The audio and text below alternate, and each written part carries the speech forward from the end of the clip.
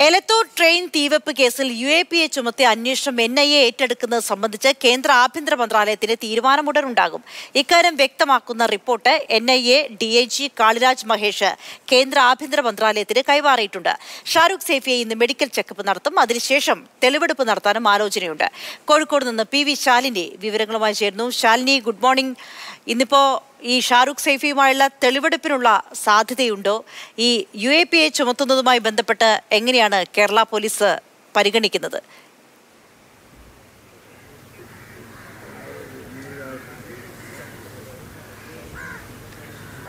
ഷാരൂഖ് സൈഫിയെ ഇന്ന് ആദ്യം മെഡിക്കൽ ചെക്കപ്പിനായിരിക്കും കൊണ്ടുപോവുക എന്നുള്ള സൂചനയാണുള്ളത്.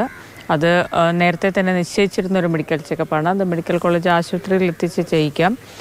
അതേസമയം ഇന്നലെ ഡോക്ടർ മെഡിസിൻ വിഭാഗം മേധാവി ഇവിടെ വന്ന് പരിശോധന നടത്തിയിരുന്നു. അതുകൊണ്ട് അതിരാവിലെ തന്നെ കൊണ്ടുപോകുമോ എന്നറിയില്ല. ഏതായാലും തെളിവെടുപ്പിനുള്ള സമയം ഇനി നീട്ടിവെക്കാൻ സാധ്യതയില്ല എന്നാണ് മനസ്സിലാക്കാൻ കഴിയുന്നത്. തെളിവെടുപ്പിന് കൊണ്ടുപോവുകയാണെങ്കിൽ കേരളത്തിൽ മൂന്ന് പ്രധാന സ്ഥലങ്ങളിലാണ് ഇപ്പോൾ പരിഗണനയിലുള്ളത്. ഒന്ന് ഷൊർണൂർ അതുപോലെ തന്നെ എലത്തൂരിൽ ഈ സംഭവം നടന്ന സ്ഥലം. ഈ ബോഗി കിടക്കുന്ന കണ്ണൂർ കണ്ണൂർ റെയിൽവേ സ്റ്റേഷനിലാണ് അയാൾ കയറിപ്പോയത്.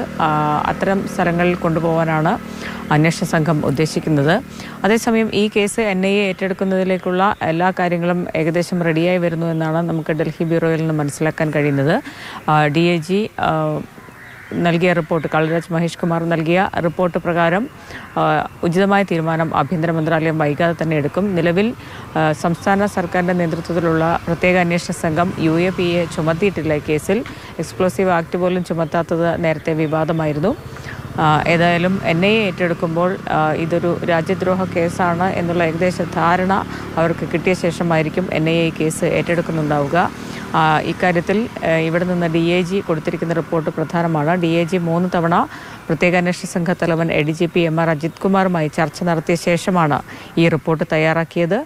ആ, റിപ്പോർട്ടുമായി അദ്ദേഹം ഇന്ന് ഉന്നത ഉദ്യോഗസ്ഥരെ കാണുമെന്ന് പ്രതീക്ഷിക്കുന്നു.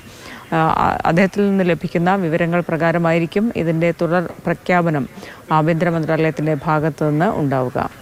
ശരി ശാല്യാണ് എലത്തൂർ ട്രെയിൻ തീവപ്പ് കേസുമായി ബന്ധപ്പെട്ട അന്വേഷണത്തിന്റെ വിവരങ്ങൾ പങ്കുവച്ചത്.